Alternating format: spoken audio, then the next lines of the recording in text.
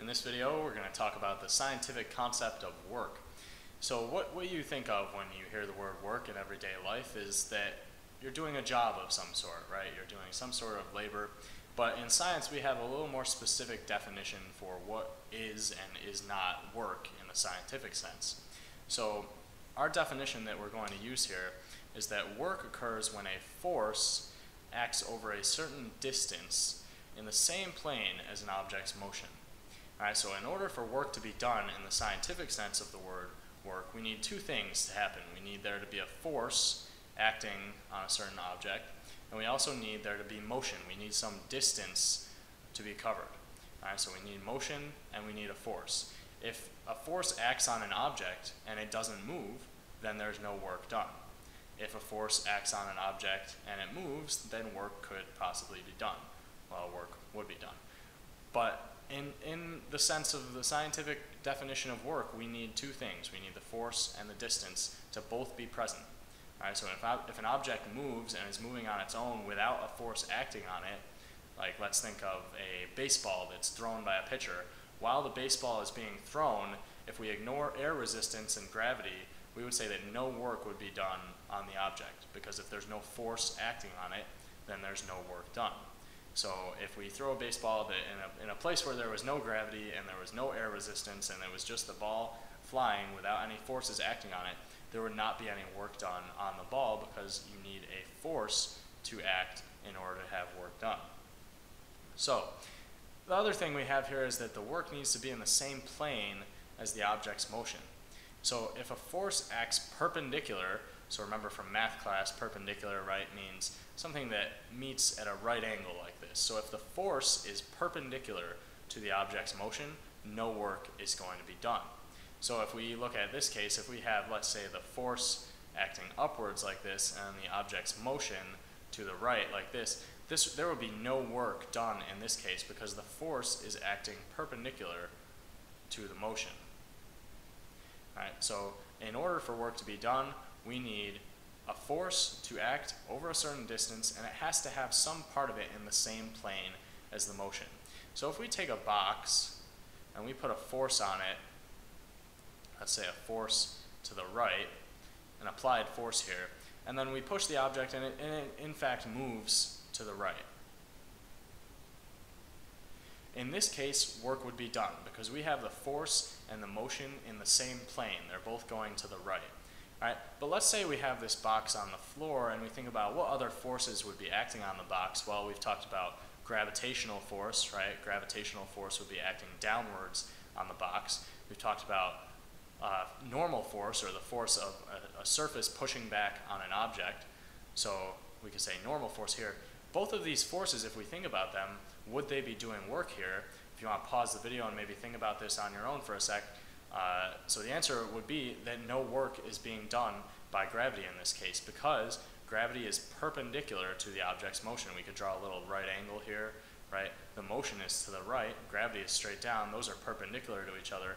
In that case, no work is done, right? If we have objects, let's say we have a box that's sliding across the floor like this, and then we have uh, the force of friction. Let's say this is a frictional surface. Let's say the force of friction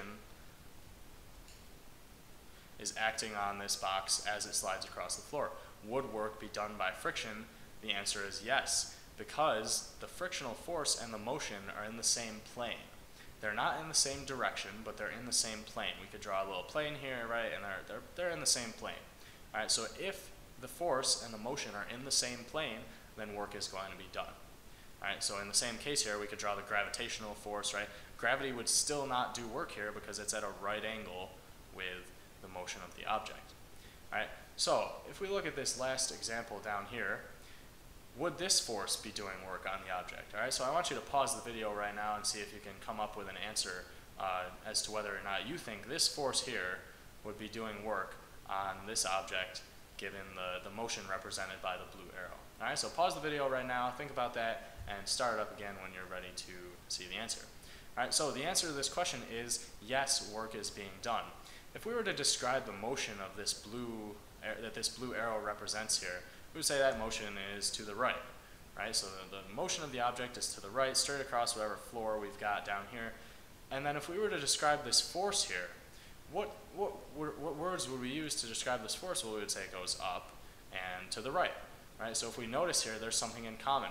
Both of these, the force and the motion, both have a dimension that's to the right, right? So because they both have a dimension to the right, part of this force is pushing upwards and part of it is pushing to the right. The motion is to the right. So we both, we, we have both the force and the motion acting in a plane, a horizontal plane to the right, at least partially, right? So by our definitions up here, we said a force is perpendicular to an object's motion will not do work. Well, we could look at this angle here. It's very clearly not perpendicular, right? If we were to have a perpendicular force, it would have to be up like this to make a right angle with this motion, right? So because these forces, this force is not perpendicular to the motion of the object, it does work. So next we could think about here the idea of positive and negative work. So I had mentioned before uh, friction doing work on an object even if the motion was in the opposite direction.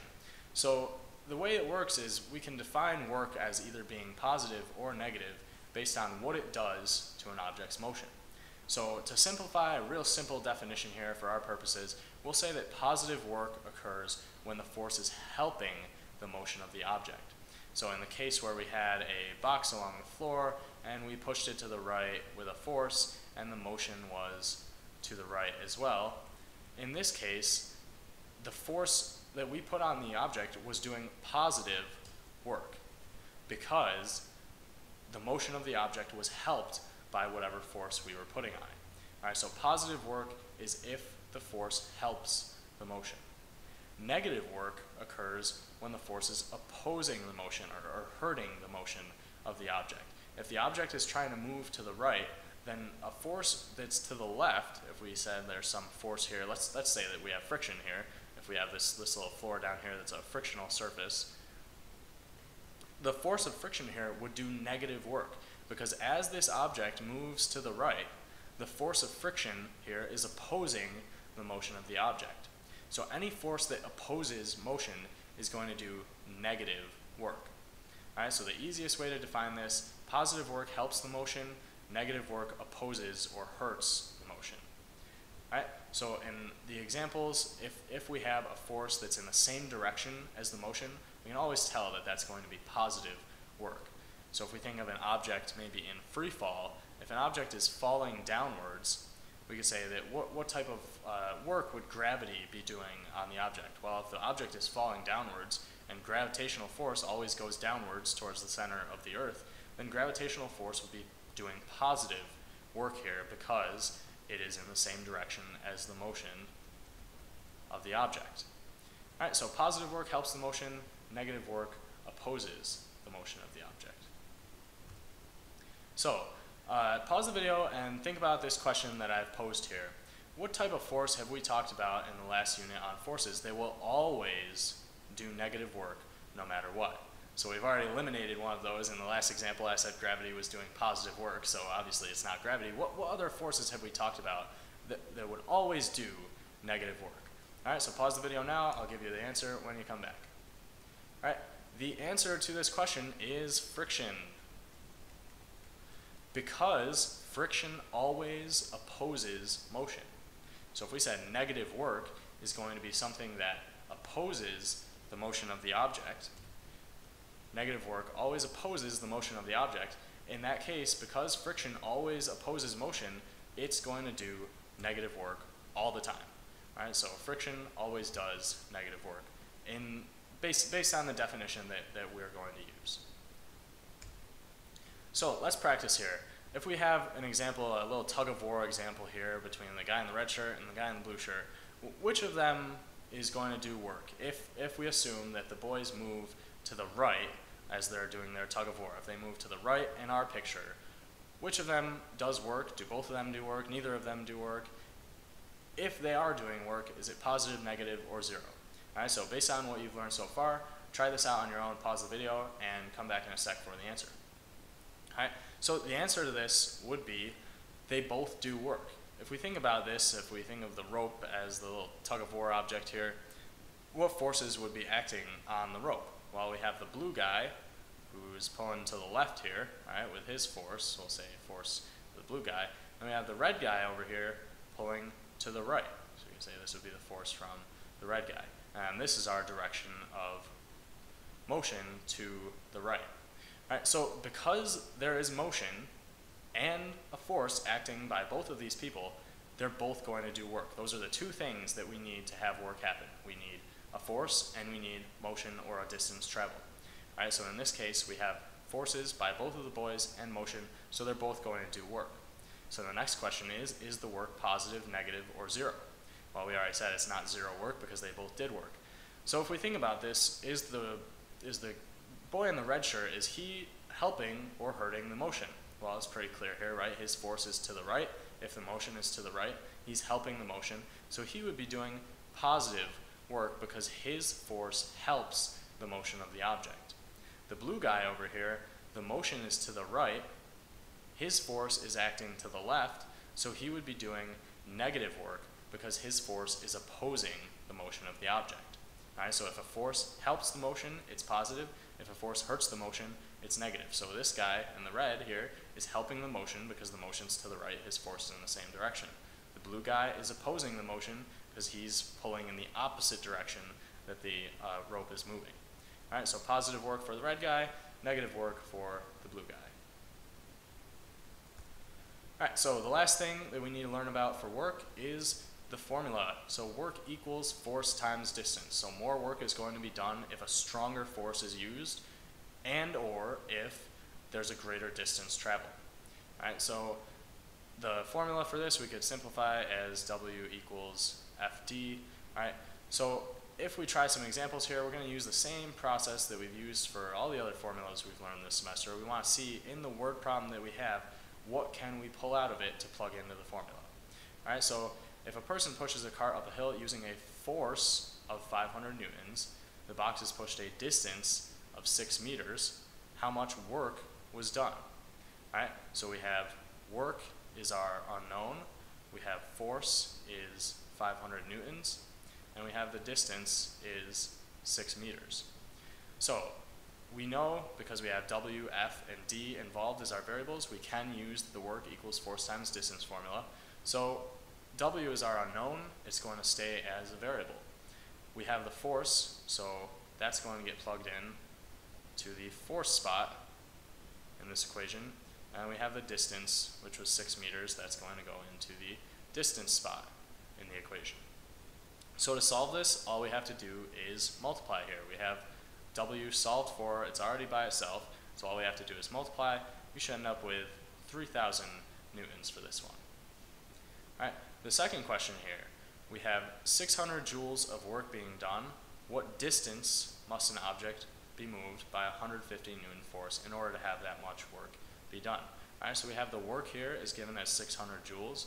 The distance is what we're looking for, and it tells us that there's 150 newton force involved. So we can do the same process here. We can list out our variables. Here we have the work is 600 joules, the force is 150 newtons, and the distance is our unknown. So if we go to plug into the work equals force times distance formula, we're going to have the work already as 600, the force is 150, and the distance covered is our unknown. Okay, so to solve for this, again, if we want to find the distance, we need to get distance by itself. So we have to get rid of this 150 as our force. So to get rid of something, again, we do the opposite of what it's doing. The 150 is being multiplied here, so the opposite would be division. So we want to divide by 150 to get rid of it. Whatever you do to one side of the equation, you have to do to the other. So we got to divide by 150 on both sides here. So on the right side, we have 150 divided by 150 would give us 1. Those will cancel out and then we're left with d by itself. So if we divide this out here, we would end up with 4 for the distance, and the units here would be in meters. All right, so the work equals force times distance formula, no different than any other formula we've used really. It's a pretty straightforward formula. You just have to make sure that you're plugging everything into the right spot and solving for the right variable. All right, thanks for watching this video, and I'll see you in the next one.